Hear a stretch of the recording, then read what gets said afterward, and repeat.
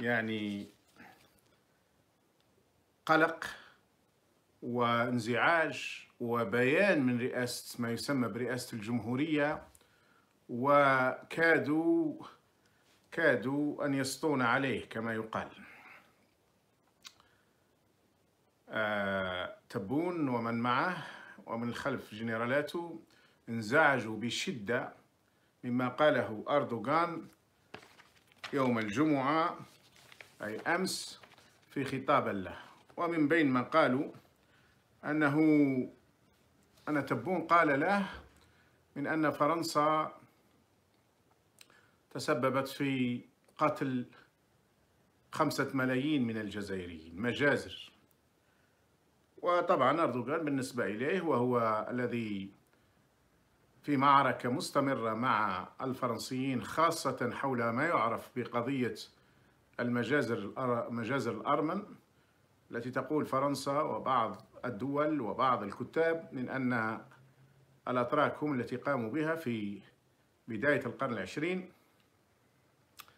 فبالنسبة إليه هذا موضوع مهم لأنه يعتبر أن فرنسا التي تدافع على الأرمن في قضية يعتبرها الأتراك أنها غير صحيحة وغير دقيقة وإنما كانت هناك مجازر متبادلة أو قتل متبادل بين الأتراك والأرمن. بينما في الجزائر فإن فرنسا أقدمت على مجازرها بشكل فظيع وتقريبا بدون مقابل أو دون مواجهة حقيقية. دون مواجهة تقريبا متقاربة يعني.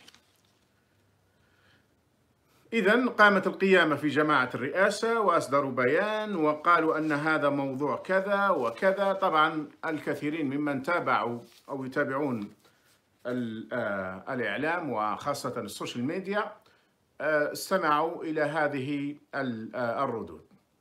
شعروا بقلق شديد. كان المفروض لو كان هناك عقل يفكر ولو كان لدينا حكام حقيقيين ما نقولش نابعين برحم الشعب فقط لديهم حد أدنى من الإخلاص للوطن. لكان بالعكس ما قاله أردوغان يستطيعون استخدامه لمصلحتهم. هذا رئيس دولة أخرى يتكلم عن مجازر حقيقية وقعت في الجزائر. ومسؤولي آه، الجزائر لا يتكلمون عن ذلك لا يتحدثون عن ذلك يخشون فرنسا في ذلك.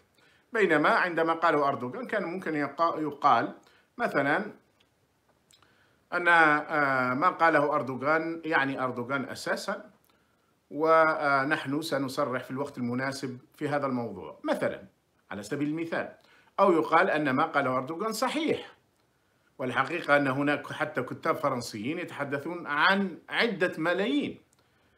بعض آه، المؤرخين يتحدثون عن حدود ثلاثة إلى أربعة مليون وهناك من يقول أن ربما وصل العدد إلى ستة أو ثمانية ملايين.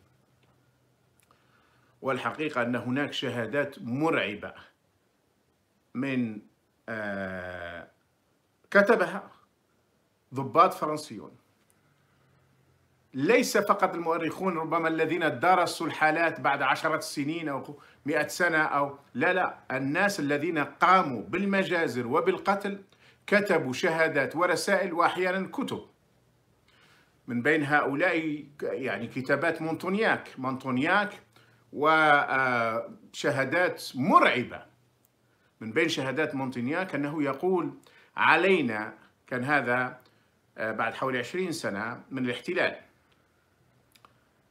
علينا بقتل كل الجزائريين الذين يزيد عمرهم عن 15 سنة كل الرجال. كل الذكور كل الرجال اللي يزيد عمرهم 15 سنة علينا بقتلهم. هذه موجودة في شهاداته. مونتانياك نفسه يروي قصص مرعبة عن الجرائم التي ارتكبها. وأعتقد أنه إذا كان ذاكرتي جيدة وربما كنت ذكرت هذا قبل سنوات مونتانياك كان يقول من أنه أي واحد تابع له يأتيه بجزائري أسير أنا ذاكر يسموه بعربي. كل الجزائريين يطلق عليهم عربي. بعربي أسير فإني أضربه ضربات شديدة يعاقب بضربات شديدة بالسيف بظاهر السيف على بطنه. يعاقب بشدة.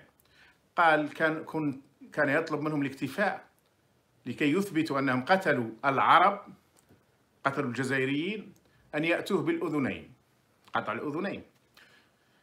الحقيقة أن هناك عشرات الكتب وهناك مئات الشهادات والرسائل للفرنسيين أنفسهم سواء كانوا مؤرخين أو ضباط وخاصة ضباط المرحلة. بل حتى فيما بعد مثلا قاتل العربي بن مهيدي الجنرال أوساريس يعترف قبل سنوات قبل آه، أن يقبر قبل أن يهلك بالتعذيب. وبأنه هو الذي عذب وأمر بتعذيب آه، العربي بن مهيدي حتى الموت. وقال أنه ليس نادم عن ذلك وهناك شهادات لكثيرين من الضباط. إذا كان ممكن لتبون ولمن معه لو كان لديهم حد أدنى من فهم إدارة الدولة بل أقول إدارة دائرة أو ولاية أو بلدية أن يغتنموا الفرصة هذه التي جاءتهم من طرف رئيس أجنبي تحدث عن القضية. لكنهم تملكهم الرعب. كون أردوغان قال أن تبون قال له فقد تملكهم الرعب. ولماذا يتملكهم الرعب؟ لأنهم نظام غير شرعي وغير شعبي ولأن هناك ثورة شعبية قائمة ضدهم ولأنهم يعتمدون على فرنسا أساسا لكي يستمر هذه العصابة.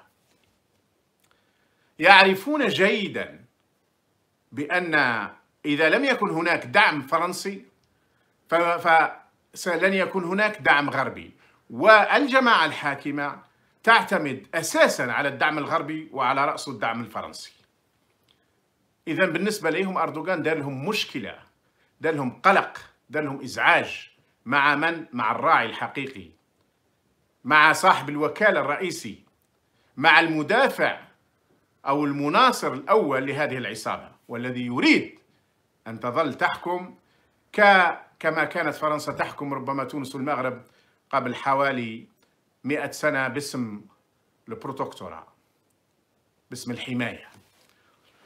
نحن اليوم في حالة حماية. الاستعمار يحمي الجماعة الحاكمة العصابة الحاكمة من شعبها. والدليل؟ يعرفون أن الانتخابات كانت مزيفة ومزورة ويعرفون أن هناك شعب ينتفض منذ ما يقارب السنة. أمس مرت الجمعة الخمسين. يعرفون كل هذا ويعرفون أنها ثورة سلمية غير مسبوقة في تاريخ الإنسانية ربما. مع ذلك يلتقي تبون ماكرون في برلين ويأتي لودريون إلى الجزائر بعد يومين من ذلك ويتبادلون التهاني والضحكات والقهقهات سواء في لقاءات مباشرة أو عبر المكالمات. لذلك ما قاله أردوغان وهو حقيقي ولم يقل في الحقيقة أردوغان إلا عنوان. لأن المآسي المآسي التي ارتكبتها المجازر التي ارتكبتها التدمير الذي ارتكبته فرنسا في الجزائر تشيب منه الولدان. ولم يذكر منه حتى الآن بالرغم كل هذه الشهادات تاع المؤرخين الفرنسيين بشكل أساسي والضباط الفرنسيين لم يذكر إلا القليل والقليل جدا.